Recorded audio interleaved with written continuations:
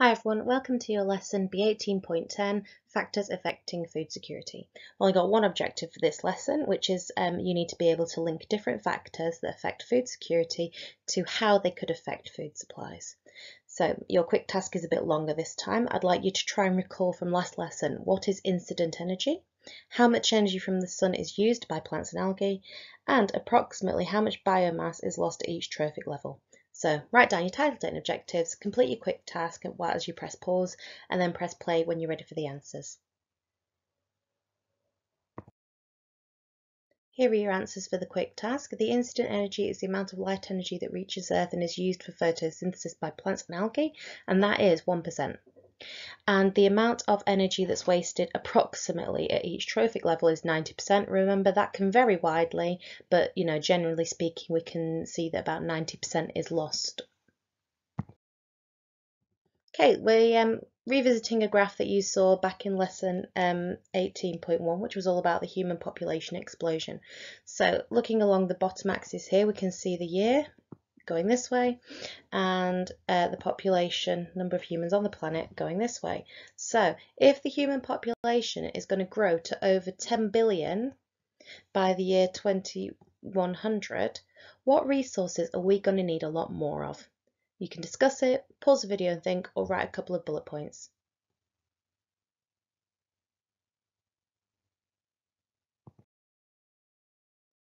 So hopefully you have recalled um, from that lesson that as the birth rate increases, that affects the resources we need. And the main resources that we need are food, water, space for living or for growing crops and so forth, and sanitation, a way of getting rid of our waste. And the main one that we're going to focus today on is food. So as the birth rate increases, how are we going to make sure there's enough food for everyone to live? Just to start off with, I'd like you to get these key notes down. So um, write all these notes down, fill the gaps in as the video is paused, and when you're ready to press play, I'll give you the answers.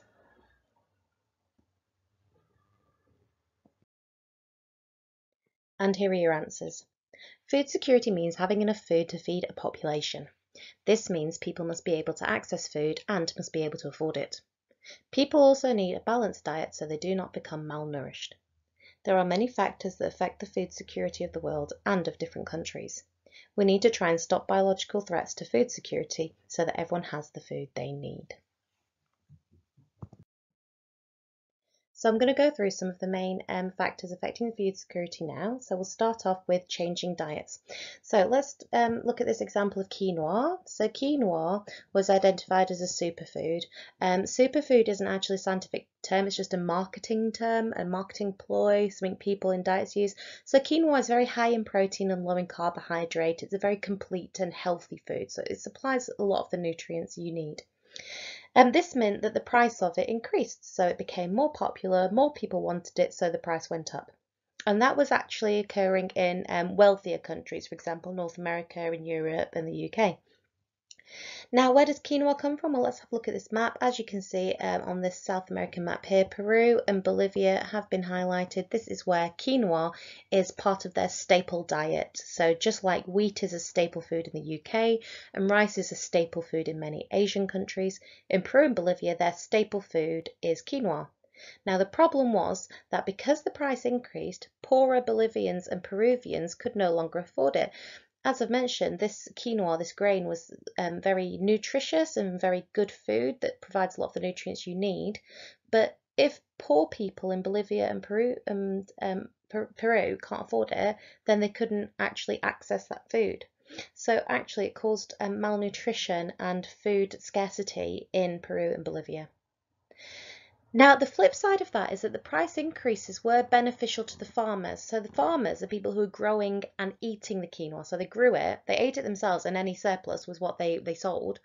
Um, the price increases were beneficial to the farmers financially, but it was bad for their diets because what happened was they grew this quinoa, they didn't eat it themselves, they sold it, and then they used the money that they made from selling it to buy like easier to cook fast foods that were more available. So cheap pasta, cheap potatoes, things like that. But pasta and potatoes are not as nutritious as quinoa, so their families and their health would have been affected by that. However, more recently, the price has decreased again because um, of farming elsewhere. So quinoa is now grown elsewhere. So um, quinoa is now grown in North America and in other areas. So we're not completely reliant on Peru and Bolivia for the quinoa that we buy in the supermarkets and stuff. But obviously, when the first rush of, um, you know, this new exciting so-called superfood started, um, that actually had a really bad impact on Bolivians and Peruvians. So we need to make sure that our changing diets don't affect people in other countries just because we've got fatty food that we want to eat. If you're interested in me reading more about um, how quinoa affected different people in different countries, uh, there's a couple of links here to news articles. And if you don't want to type out the whole link, you could just type out quinoa BBC News or quinoa Guardian and see what the articles say. I'm sure they'll come up. Okay, another um, factor that affects food security is new pests and new diseases. So, because of the increase in global travel, different um, pests and organisms can end up traveling to different countries quite easily, and also climate change. And the example we're looking at here is called blue tongue disease, and it's in sheep. It happens in sheep and cattle. What happens is this creature here is a type of midge, and normally it can only survive in hot um, climates, like um, in certain areas of Africa and North Africa. Um, but as um, climate change increases the temperatures globally and certainly in the UK, these midges are able to travel across to the UK and affect our livestock. So this image here is um, a sheep who has blue tongue disease and um, is in the early stages. And you might not be able to super tell, but if I just draw around its cheek, can you see how its cheek is sort of bulging out on the lower edge here? And it has a kind of depressed appearance and it's um, not sort of staring off into space. I know it's a sheep and I tend to stare off into space. You don't expect them to be super intellectual, but the animals who suffer from blue tongue disease become depressed. They get um, swollen faces and swollen ears, and eventually they start to develop things like ulcers and sores on their hooves, and it's really very bad for the animal. We don't want them to suffer. So, um, in order to combat this, farmers are just being a little bit more alert during those times of years when it gets really hot. So, you know, when we get these heat waves in summer, because that's the time at which these tiny flying insects can more easily get across to our country and possibly infect the um, uh, cattle and sheep that we have with the virus that they're carrying, this blue tongue disease virus. Another example I wanted to talk about was desert locusts. So desert locusts live in very hot countries and um, their numbers have been increasing because, again, of global warming. So normally they're confined to um, certain countries, which I'll list on the next slide, um, but they have been increasing both in number and in the areas they can reach because of global warming. Now, each insect is only um, two grams, so one, loc one desert locust, roughly, its mass is two grams, but it can eat two grams worth of crops in a day. Now that doesn't sound like a lot, but the problem is when they swarm. When they swarm, you get up to something like 100 billion locusts in one swarm. That sounds like a number that you can't really comprehend, but I've got a picture of that sort of on the next slide.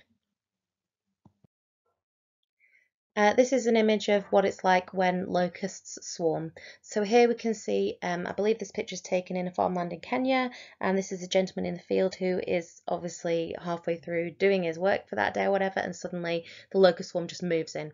And within an hour, they can destroy an entire crop. So that would be completely gone within the space of one hour, and then they move on and destroy another crop. So normally the affected areas I've listed up here are the Gulf states, East African countries, India, Pakistan, Iran, and um, Yemen. Now, recently, because of the increase in temperatures, other countries and, and areas are not normally affected, including the Democratic Republic of Congo, Kuwait, Bahrain, and Qatar, are being affected. So, how can we combat them? Well, um, a lot of the time people are trying to spray pesticides on them. Pesticides means chemicals that kill um, insects. But at the moment, there's not enough aeroplanes and not enough pesticide to go around because people are being overwhelmed by the sheer numbers of locusts. So one thing that's happening is um, China have some experts that they're sending out to their neighbouring Pakistan, on, along that border where they neighbour Pakistan, um, to deploy ducks. So they have um, 100,000 ducks that they're going to send into the area, and the ducks eat the locusts. And ducks can eat up to something like 210 locusts in a day. So hopefully that's a good natural way of trying to get rid of the locusts because the pesticides um, are just not able to keep up with the job at the moment. Okay, so here's your first task. I want you to use information from the video I've already talked through, and if you want to, you can also use page 304 and 305 of your AQA biology book on Kerboodle. I want you to write three sentences to describe how the following can cause food insecurity. So, an increasing population, changing diets, or new pests or diseases. So pause the video, write at least one sentence for each of those, and press play when you're ready to move on.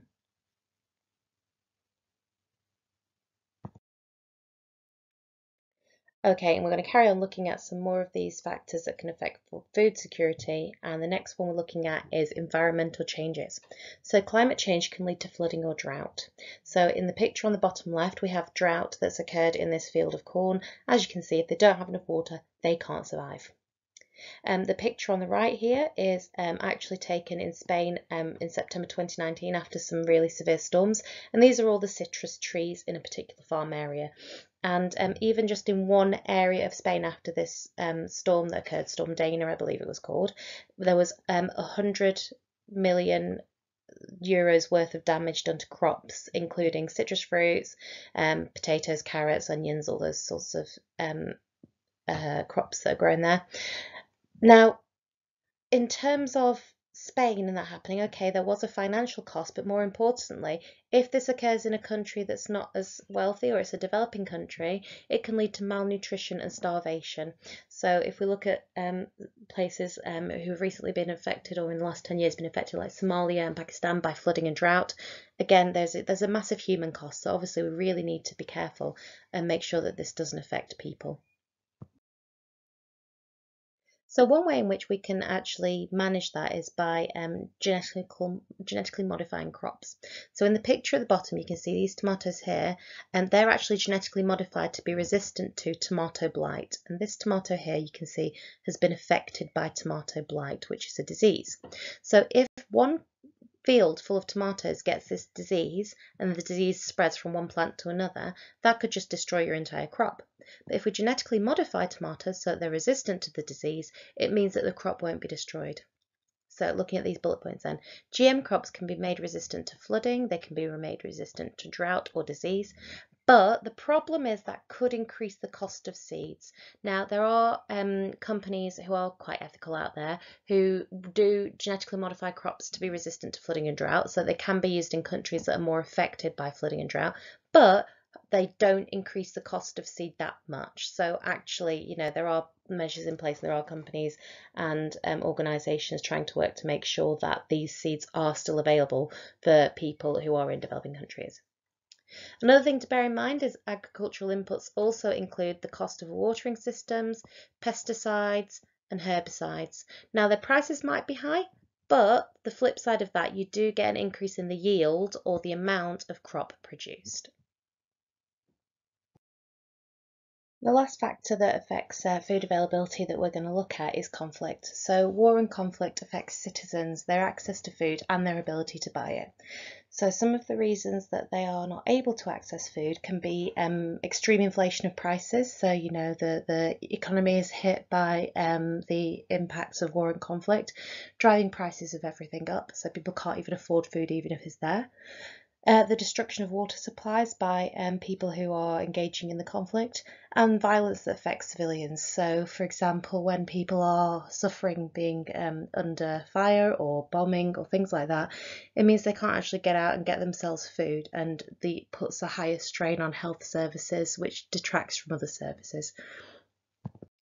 There's um, sadly, it's really frustrating that I always feel very impotent, like there's not really much we can do about it. But um, one of the things that's been heavily on my mind recently has been the crisis in Yemen.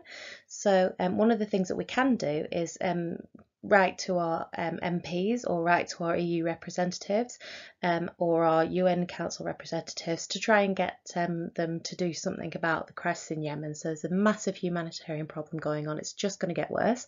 So if you're interested in sending an email to your MP, you can uh, follow the web address or easier is, is if you just go to Google and type Oxfam crisis in Yemen and then it'll take you to this page where you can send uh, a letter or an email to your MP and ask them to intervene.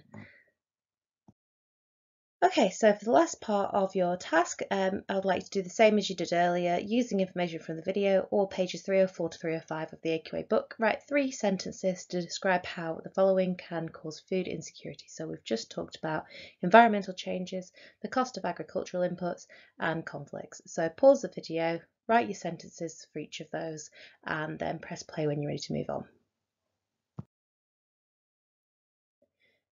And today, as I mentioned, there was only one main objective, which was to link the different factors that affect food security to how they affect the food supplies. So again, smiley middle or sad face to rate your confidence level. And if you need to do any further study, you could check out other videos on YouTube, for example, Free Science Lessons, Primrose Kitten, or the Amoeba Sisters. You could look at BBC Bitesize website. Uh, you could use your AQA GCSE biology textbook on Kerboodle, looking at pages 304 to 305, and um, there are other websites that you can use as well, such as GCSE Pod, Seneca Learning, or any other resources that you find useful. Uh, well done for all your work today, and I'll be uploading more videos next week.